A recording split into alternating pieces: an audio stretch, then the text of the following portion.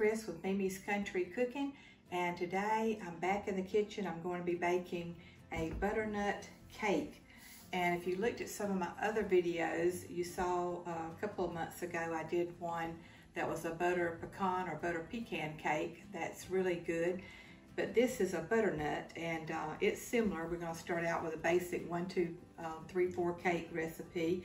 And that is three cups of self-rising flour, um, two cups of sugar, four large eggs, one cup of milk, one cup of chopped nuts, and I've already uh, got two sticks of butter that was softened, uh, and I've already creamed that for about five or six minutes. Okay, so now we're going to be adding our eggs uh, one at a time. We're going to beat well after each addition.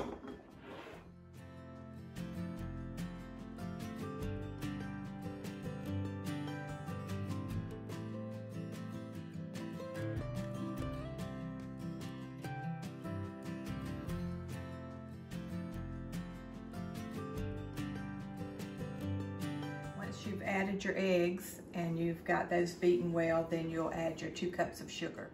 So now we'll be adding three cups of self-rising flour with a cup, one cup of milk, and we're going to begin with flour and end with flour.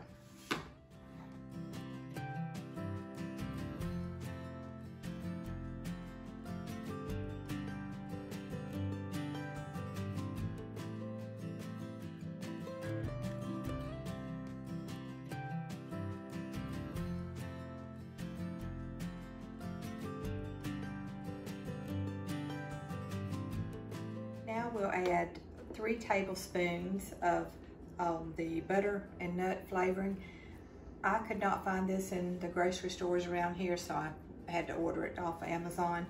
Uh, this is Happy Home. There's a couple of different brands, but we're going to add three tablespoons of that to our cake batter.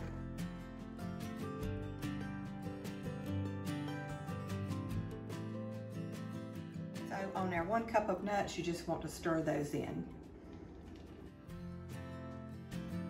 So now we're going to pour it up into our three sprayed um, cake pans and I already have my oven preheated to 350 and we'll be baking it for 30 to 35 minutes.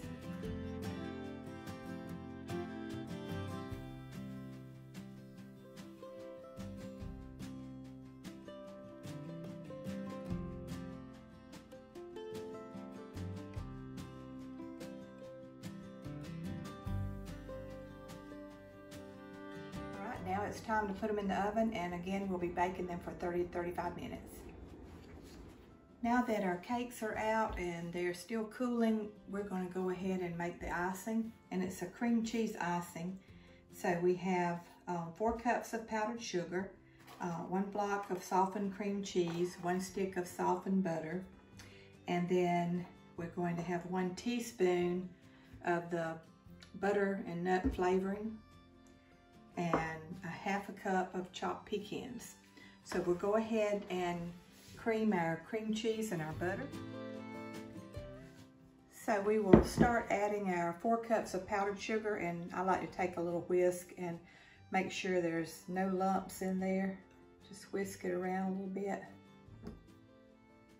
I'm going to gradually add in my powdered sugar and I do have a fourth of a cup of heavy whipping cream that I like to add. It just gives it a little more flavor and it's a little creamier.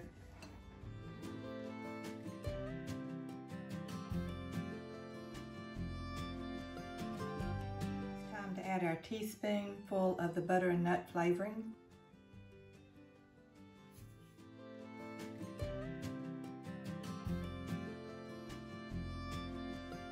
This is a half a cup of chopped nuts. You can leave them whole and just lay them on top of the cake, but I'm gonna put it in the icing.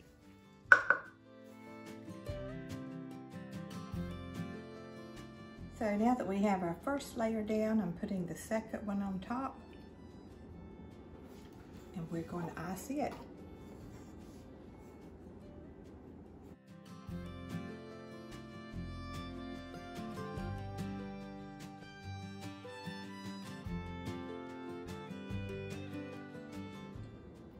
Now for our top layer.